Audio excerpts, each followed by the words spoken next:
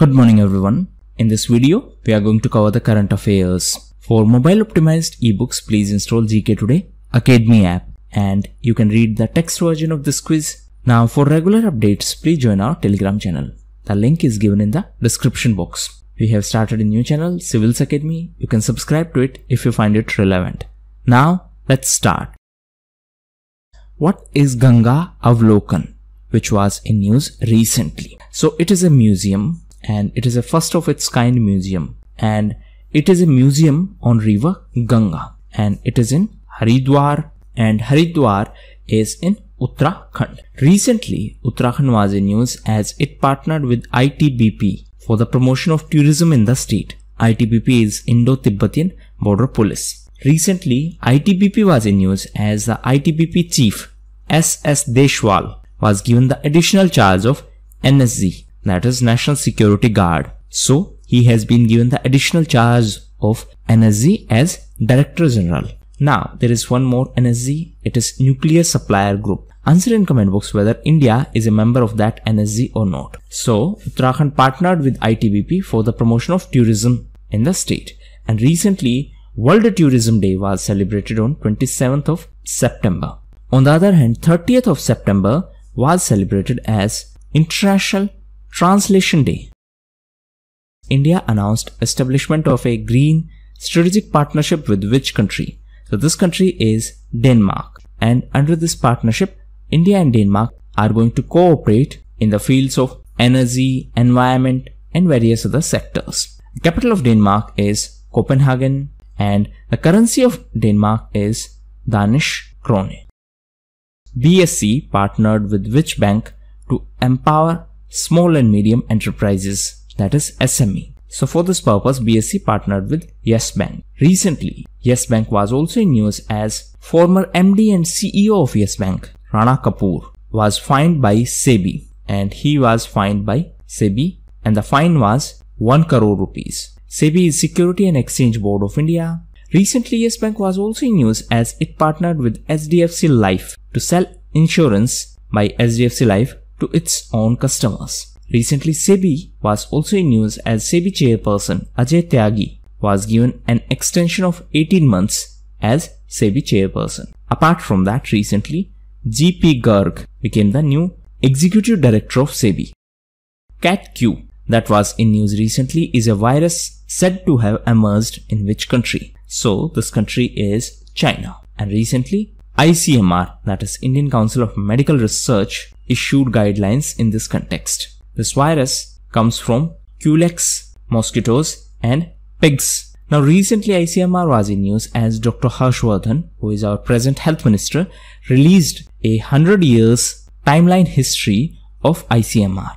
ICMR is serving the nation since 1911. Apart from that, China was also in news as a confirmed case of bubonic plague was found in Yunnan province of China. So please note that this CAT-Q is a virus. It emerged in China and recently ICMR released guidelines in this context. And the virus is found in the pigs and in Culex mosquitoes. Amnesty International has announced to quit from which country? So it is India. Now this Amnesty International works in the field of human rights. It is a non-governmental organization that is NGO. Recently, NGO said that the government of India has frozen its bank account. On the other hand, as per the government of India, Amnesty International is receiving foreign funding and it was involved in violation of FCRA that is Foreign Contribution Regulation Act. So this act was enacted in 2010. The headquarters of Amnesty International is in London. Now coming back to FCRA, recently it was in news because of amendments. It was also in news because of Golden Temple as Golden Temple is now registered under FCRA, therefore it can receive the foreign funding. If we talk about amendments, Aadhaar is mandatory for foreign funding now. Funding cannot be transferred. That means even if the other party is registered under FCRA, the fund received by one party cannot be transferred to another party. And then there is a limit on administrative expenses. Answer in comment box what is the new limit on administrative expenses as per this FCRA. Which automobile company has shortlisted 5 startups to promote innovation in automobile sector. So this was done by Maruti Suzuki and this was done under MAIL program. What is this MAIL program? It stands for Mobility and Automobile Innovation Lab program. So this is an initiative associated to Maruti Suzuki. The idea is to promote innovations in the automobile sector. Now, in this context, there was important term in economic survey of this year and the name of this term and this term is creative destruction. Please read about this term and its impact on the economy. Until which month RBI has extended the enhanced borrowing facility for banks under MSF. So it is March 2021. So under MSF, RBI has extended this timeline by 6 more months. It is important to note that recently RBI had increased the limit of borrowing under MSF from existing 2% of NDTL to now 3%. What is NDTL? It is net demand and time liabilities. Recently RBI was also in news as former RBI governor Amitabh Ghosh passed away. RBI was also in news as recently it named Amitabh Bachchan for its customer awareness campaign. And Mr. Bachchan was also in news as he is going to provide voice to Amazon's digital assistant Alexa. Now, please read about MSF that is marginal standing facility and LAF that is liquidity adjustment facility and what is NDTL. Which Astronomical Observatory of India has completed 5 years of mapping stars. So AstroSat has completed 5 years of mapping stars AstroSat was launched by ISRO. ISRO is Indian Space Research Organization. Now, this AstroSat is India's first multi-wavelength observatory. Please remember, this is India's first multi-wavelength observatory and it has five telescope of different wavelength. These are visible, near UV, that is ultraviolet, far UV, soft X-ray and hard X-ray. So it has five telescope of these 5 wavelength and that is why it is multi-wavelength and it is India's first such multi-wavelength system. Recently, this AstroSat was also in news because of AUDF S01. What is this AUDF S01? It is a galaxy and it is one of the earliest galaxy in the extreme UV that is in extreme ultraviolet light and this has been discovered with the help of AstroSat. Which Indian actor has been conferred with United Nations Development Programme's SDG Special Humanitarian Action Award. So, Sonu Sood has been conferred with this Special Humanitarian Action Award of UNDP, that is United Nations Development Programme. Sonu Sood was also in news as recently he was appointed as the brand ambassador of ESSA. Recently, UNDP was also in news because of its report from insights to action. And as per this report, because of COVID-19, 47 million women will be pushed in poverty. So you can see the impact of this disease on the vulnerable section of society. Flipkart and which general insurance company has launched insurance cover for online financial frauds. So for this purpose, Flipkart has collaborated with Bajaj Allianz. So this is to provide insurance cover for online financial frauds. Recently, Flipkart was also in news as it partnered with Uttar Pradesh government for One District, One Product initiative. Recently, Uttar Pradesh was also in news as it won 8 awards for the implementation of Garib Kalyan Rozgar Abhiyan. So, this was an initiative for the betterment of laborers and recently Uttar Pradesh won the awards for the implementation of this initiative.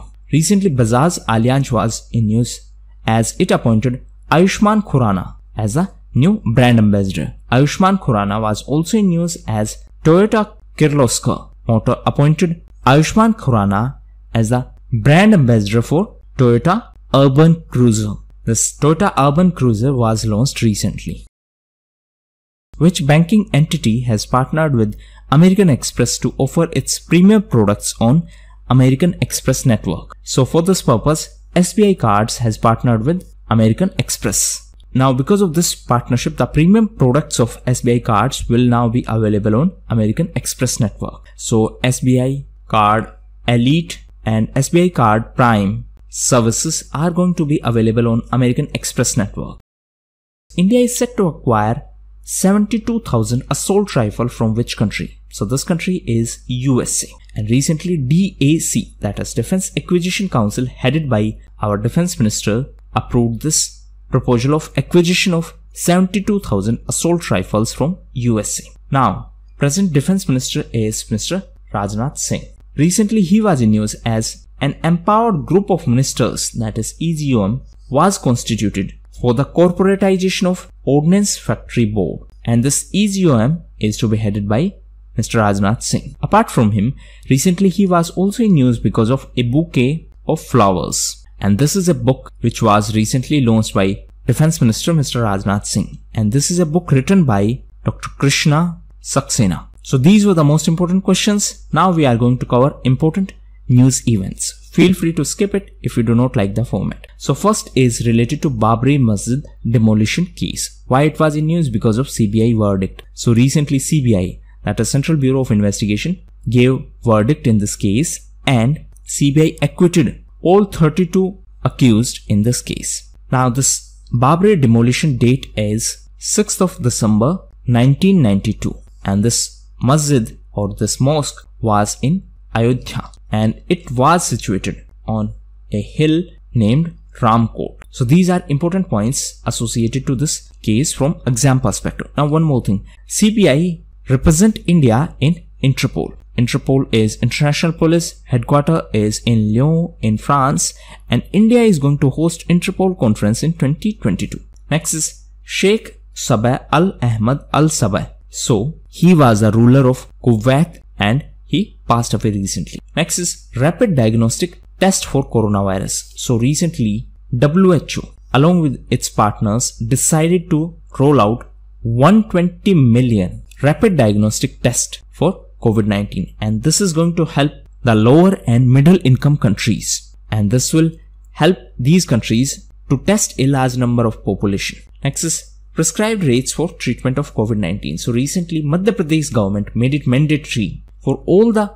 hospitals to display the prescribed rate of treatment for COVID-19. Next is Warehouse Commodity Finance app. So recently HDFC Bank launched this India's first warehouse commodity finance app. So this is first such initiative in our country. Next is Harijan Sevak Sangh. So this was an initiative which was started by Gandhiji and it was started on 30th of September in 1932. The objective was to combat untouchability and for this purpose a new weekly paper was also started and the name of this paper was Hari Jan. Harijan means children of God and it was the name given by Gandhiji to the untouchables. And to combat untouchability, Gandhiji started this initiative. Now in this context, Article 17 of Indian Constitution is important as it prohibits the untouchability and it abolishes the untouchability. Next is Dharani. So this is an initiative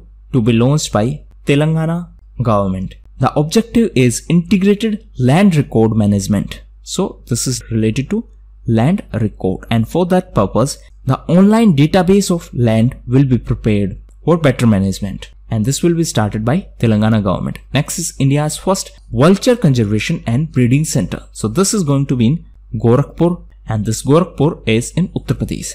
Next is India's first tram library. So this was recently started in Kolkata that is in West Bengal and this was started by West Bengal Tourism Corporation. And last news is related to Shekhar Kapoor. So recently Shekhar Kapoor, the noted filmmaker, has been appointed as the president of FTII. What is FTII? It is Film and Television Institute of India. And he is going to replace BP Singh. So these were the most important events. Now homework. So please read about Global Counter-Terrorism Council, iDEX4Fauji and User Depot module. So that was all for the day. Thank you.